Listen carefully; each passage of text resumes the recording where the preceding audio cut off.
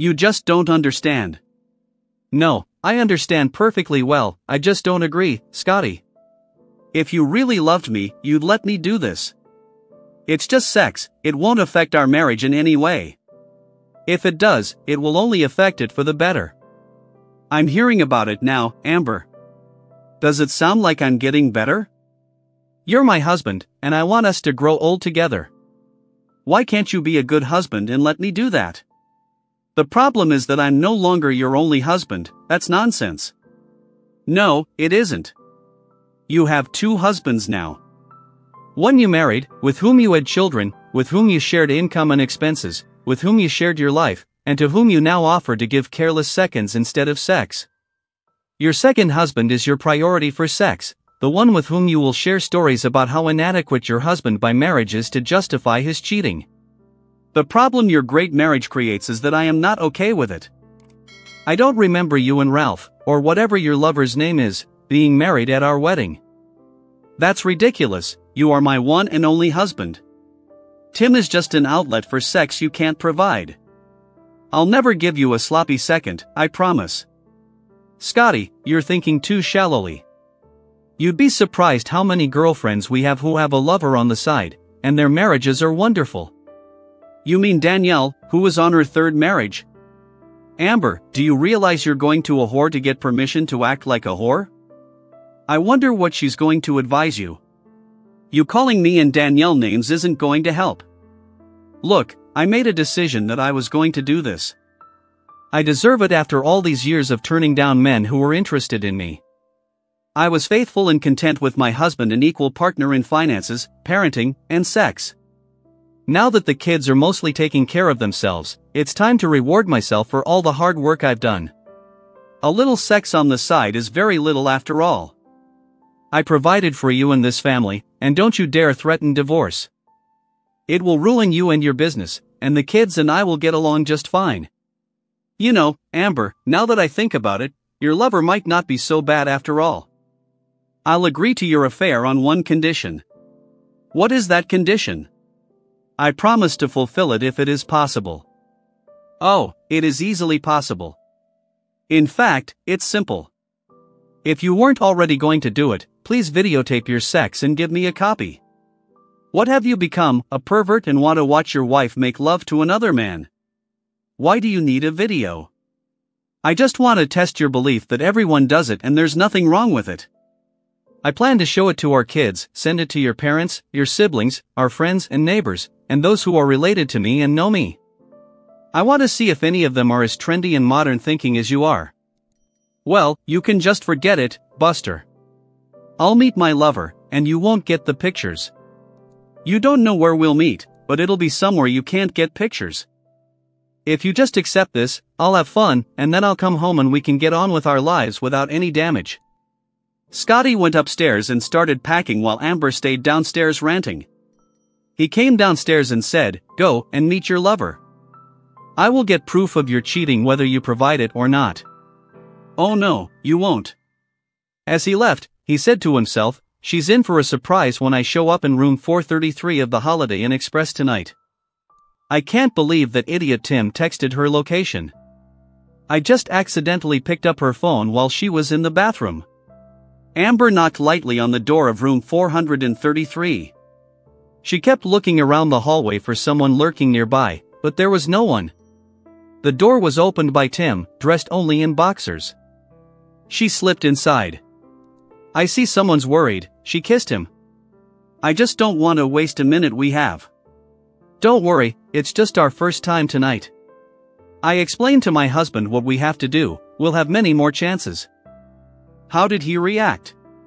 He was a little upset, I think he realizes he has no other reasonable choice.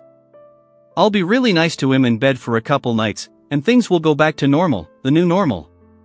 There's something we need to do before we start. Scotty has threatened to find us and get proof of our connection.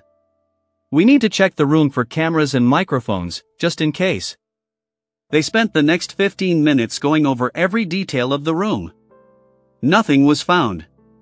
Amber took her time undressing in front of a naked Tim, lying on the bed with his head propped up and watching. Tim began his foreplay. Suddenly, there was a heavy thud at the door of their suite. What the hell was that? They both screamed. Tim cautiously approached the door. He looked out the peephole. There's a man lying on the carpet in the hallway. It looks like he's unconscious. Amber stood up and walked over to him. Let me take a look. After looking, she exclaimed, That's my husband, Scotty. My goodness, how did he know where we were? Tim suggested, maybe we should call 911. I think you hurt himself pretty bad trying to break down our door. No, wait, he probably just passed out. Scotty thinks we're in this room, but he hasn't actually seen us. If we leave before he wakes up, he won't be able to prove we were even here. Maybe that will make him not try to spy on us. You just want to leave him there? Sure, if he doesn't wake up soon, someone will find him and call for help. He'll probably only get a bad headache on top of his great humiliation. Amber and Tim quickly dressed and left. They had to step over his body to get out. Amber and Tim went to bed. Amber returned home, figuring Scotty would go back to the cheap hotel room he was staying in and take a few aspirin pills. She had brief but good memories of her time with Tim. She hoped she would dream of the next uninterrupted time spent with him. Around 2:38 a.m., the doorbell rang several times, and there was a heavy knock on the door. She threw on a robe and went to the door, looking out the peephole. She saw a sheriff deputy standing there. He looked old for an officer of the law, and his stomach was straining the buttons on his shirt. She partially opened the door and asked, Yes, what's up? Are you Amber Stevens? Yes, what's up? Your husband, Scott Stevens? Yes, has something happened to him? Yes, ma'am, I'm sorry to inform you that he's dead. What? Dad, that can't be true. How did that happen? She started to cry. Damn, I hate these calls. An old man close to retirement gets a shitload of responsibilities. I'm sorry for your loss, ma'am. I'm even more sorry that I have to ask you some questions. He was found dead in the hallway in front of room 433 at the Holiday Inn Express around midnight. I'm afraid you won't be able to see the body for a while, they're doing an autopsy. Autopsy? And he's suspicion of foul play results in an autopsy, that's the law. Foul play? Yes, people don't usually drop dead in a pool of blood of their own free will. Blood? There was no blood. Amber immediately realized she'd messed up. I mean, that means you just admitted you knew your husband was attacked when you didn't do it yourself. We had nothing to do with that. He ran into a door and passed out. I assume by we you mean you and Tim Grace? Yes, we were having a meeting in room 433 when Scotty tried to break down the door. He mistakenly thought we were doing something we shouldn't be doing. Look, lady, I'm not the morality police. I don't care what kind of meeting you had with Mr. Grace. Mr. Grace, as the man who rented room 433, has already been questioned and admitted to the sexual nature of your encounter. He even said that you informed him that your husband was consenting to you having sex with him. I'd say he was wrong in that assumption. Are you arresting me? Not at the moment. I'd like to arrest you for leaving your husband to die on the hallway floor, but I swear I thought he was only passed out. I didn't see any blood, I was sure you only had a bad headache. Never mind, I think there may be a charge for leaving a man in distress without notifying the proper authorities, but for now, I won't arrest you. You and Mr. Grace are, as we say, persons of interest in the case of Mr. Stevens's death. Don't leave town, I'm sure you'll be brought downtown for questioning after we get the autopsy results. You might want to consider hiring a lawyer, especially if the charge becomes murder. That night, Amber still couldn't sleep. She tried to call Tim, but his phone went to voicemail all seven times she tried. Later on Saturday morning, she made coffee when she realized she had brewed a full pot because she was used to making coffee for both herself and her husband. It came to her how lonely she was and would be without her husband. She was stunned at what she would have to do to keep her home and family together without Scotty. In addition to the funeral, she would have to pay all the bills around the house, deal with insurance, take out loans, and an unknown number of other legal issues. How will she be able to cope financially as a single parent? What if Tim and I were charged with murder? We didn't kill him, but innocent people are found guilty all the time. By leaving him without calling for help, we become guilty ourselves. The crying resumed with renewed vigor. She looked at her watch, it was close to nine o'clock in the morning.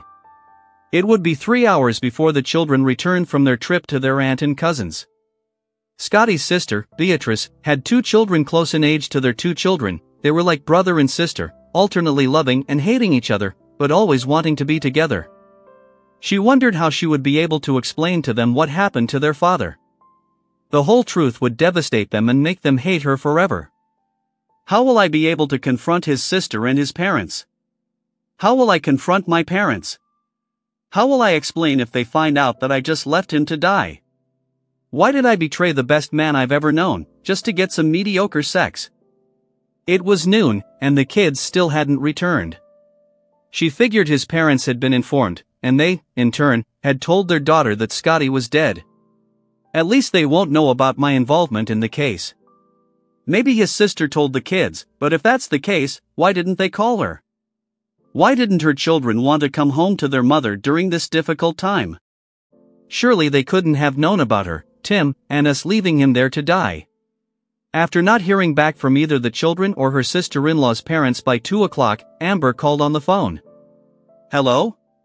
It was Beatrice, Scotty's sister. B, it's Amber. Did you hear? You have a lot of nerve calling here. Yes, we heard about my brother's death and your cheating. I could forgive your cheating, but leaving him to die in a pool of his own blood without calling an ambulance, what kind of sick person are you? B cried and continued, The children know he's dead and that you left him to die. They have explicitly told me that they don't want to come home to you, not now, not soon, and maybe not ever. I intend to keep them with me until they say they want to come home, or until a court orders that I must give them to you. I hope you'll be in jail until then, bitch. How could you know about what I did?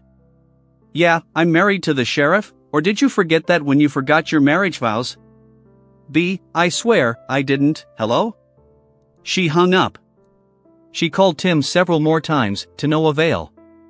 Amber had no one to turn on. She was seriously considering suicide. A bottle of vodka became her source of solace for the rest of the weekend. Amber ate little and drank a lot.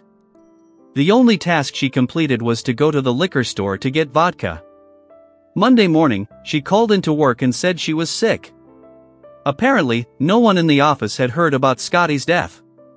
No one had said anything to her except, I hope you feel better soon. Amber tried to herself for that. Feel better soon? What about feeling better everywhere?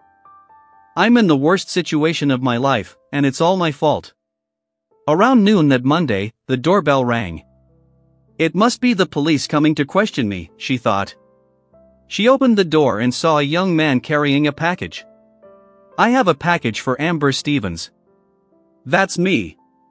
I'm sorry, miss, but I need to see some identification. I'll get in big trouble with my boss if I can't prove I gave the package to the right person. Amber went and pulled out her purse. She showed the young man her driver's license. He smiled, handed her the package, and said, You have been served. Enjoy the rest of your day. She opened the package. There was a statement of dissolution of marriage. Her first thought was that Scotty had started divorce proceedings before he died. There was also a letter inside. The envelope had her name on it. The letter was written in Scotty's handwriting. Inside, the letter read as follows Amber, although I hate to cut you off from mourning, I'm not dead. I hope you were completely miserable, guilty, and ashamed of what you did to Tim and what you thought you did to me. I didn't plan for any of this to happen, but it accidentally turned out even better than I planned. That may seem like bragging on my part, but so what? Your idiot boyfriend texted you the location of your date. I saw it on your phone when you left it in the same room, heading to the bathroom as usual. That's how I found out where you were. My original plan was to break down the door and take pictures of the two of you to send out to our kids, my in laws, your in laws, your boss, and co workers, and everyone else I knew you knew. Then I was going to divorce you, no matter how bad the division of property was going to be. I learned that hotel doors are a lot harder to break down than the movies and cop shows on TV. I cracked my skull and passed out. No, there was no pool of blood, but I thought making you think that was a nice touch. Anyway, when I woke up, I saw that you two had already left, and probably figured I'd foiled my attempt to embarrass you. To I don't know if it was the bump on my head or what, but I had a fantastic idea. I called my brother in law, the sheriff, and told him about my idea. He said he couldn't use his actual deputies to help me, but he sent me up with a guy who had recently retired for a few bucks. The guy studied the script I gave him, put on his old uniform, and came to you. While he was meeting with you, I visited Tim with my Smith and Wesson friends and made him an offer he couldn't refuse. To talk to you. After a little coaxing, he confessed to what you two had done and were about to do. Coincidentally, I got it on a tape recorder. By the way, he probably won't be brave enough to contact you, at least not until the divorce is finalized. His balls should be healed by then. My sister liked my idea of revenge and played along. She told the kids that we asked her to keep them for a few more days, and to distract them, she arranged a trip to Holiday World.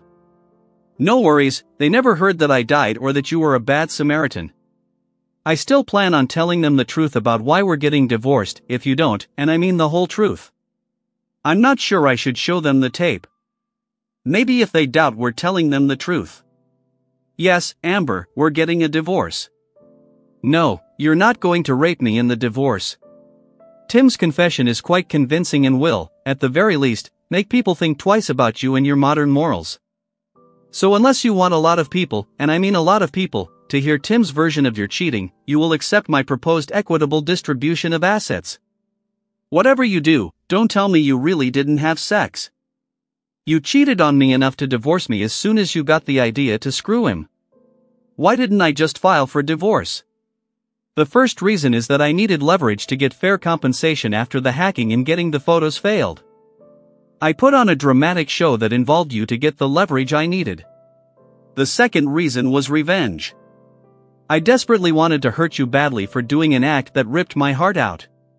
I think I succeeded beyond my hopes. Amber, I loved you more than anyone in my life. You asked me to do something I could never do for you, share you with another man. You realize that now. You ended up getting caught and paying part of the price reduce your future misery and sign the papers. Your ex-husband, but never a cuckold, Scotty. Epilogue, Amber was a broken woman. She signed the papers, and in the months that followed, she faithfully allowed Scotty to take the children whenever he wished. She told the children the whole truth about what she had done. It took them a while to talk to her, much less forgive her. Father had never found a place big enough for them to stay more than a couple of nights, however, they had never felt as close to their mother as they had before her betrayal. She was always friendly to Scotty whenever she saw him and made sure to invite him to family celebrations such as birthdays, Thanksgiving, and Christmas anniversaries, which could have been celebrated if she hadn't gaffed. Instead, they became days of mourning. Amber even greeted Scotty when he brought a friend over a couple of times. Secretly, she prayed that he wouldn't develop a serious relationship with either of them. For her part, she no longer dated men or even flirted with them. On the second night after the divorce, Christmas Eve, presents were opened, and everyone seemed to forget about the past and acted like a family for a few hours. The kids said goodnight to Daddy and went to bed before Scotty left. Amber asked him to stay for a cup of coffee. She said she wanted to talk to him about something. He agreed. After they had their coffee for a while, Amber spoke up. Thank you for coming today. It means a lot to the kids, and it means a lot to me too. Scotty, I never stopped loving you, even when I stumbled and destroyed our marriage and family. I want you to know that none of this is your fault, and I am so, so sorry. I know it's too little and too late on my part. I just wanted to make sure you knew. Amber, I loved you with all my heart. I couldn't believe you could want another man unless I did something wrong. Maybe it was something I did, maybe it was something I didn't do. What was it? I've spent the last couple of years trying to figure out what it might be. More hugs and kisses, more compliments, more frequency and variety of sexual positions, more random gifts of flowers and candy. I will not marry another woman until I have a plan ready to make sure she is always assured of my love. I will do this in the hope that she will not be tempted as you are. Scotty, there are many women who are more sensible than I am and would never make the mistake of betraying you. I hope you find her and regain the happiness we had but which I destroyed in our marriage. I still love you, and I hope you can accept that. That's a lie. The truth is, if you took me to bed right now, I wouldn't let you stop until I was dehydrated from being so thoroughly around. I'm sorry if that makes you uncomfortable, Amber. I could never marry you again. I may be able to learn to love you to some degree, but I can't replace respect and trust. I'll never trust you to fully respect me, and I know I'll always wonder what you're doing with someone when you're not with me. That's not the basis for a real marriage. Amber began to sob, lowering her head to avoid facing her ex husband. But having sex until you're dehydrated is another matter. You're still the sexiest woman I've ever known. It would really help me to get a sexual release every now and then, so I don't risk my horniness leading me into a failed marriage. Amber looked up, happy eyes. She said nothing, took Scotty's hand, and led him into the bedroom that had been the site of many great lovemaking sessions in the past. That night, and in the years that followed, was a new classic night of sex. Don't forget to hit that like button if you enjoyed this video, and if you're curious to see where this journey takes us next, make sure to subscribe and turn on notifications so you won't miss a single update. Your support is what keeps this channel alive and kicking, and every like, comment, and share means the world to us. We've got plenty more stories, insights, and surprises coming your way, so stay tuned for the next video. Thanks for watching, and I'll see you in the next one.